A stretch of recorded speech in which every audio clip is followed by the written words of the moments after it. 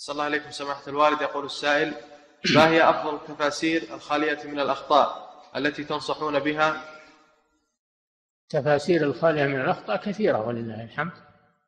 أعظمها وأوسعها تفسير ابن جرير الذي هو إمام المفسرين. وكل من جاء بعده فإنهم ينقلون منه. ثم تفسير ابن كثير ثم تفسير البغوي ثم تفسير الشيخ ابن سعدي المعاصر ثم تفسير شيخنا الشيخ محمد الأمين الشنقيطي. كل هذه والحمد لله كتب تفاسير موثوقة ومبنية على على الأدلة وعلى كلام السلف.